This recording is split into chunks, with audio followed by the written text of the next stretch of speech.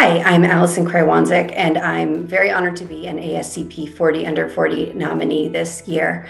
I'm a cardiovascular pathologist and a forensic pathologist, and I've always had a passion for autopsies and for the field of forensics. But during my training, I decided that I wanted to know more about the cases that I found the most challenging.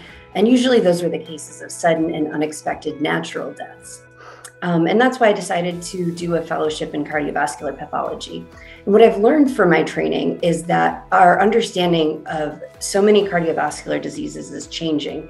And the way that we understand the interplay of genetics and environmental factors um, is making a lot of these diseases that we once thought were just Mendelian simple diseases a lot more complex.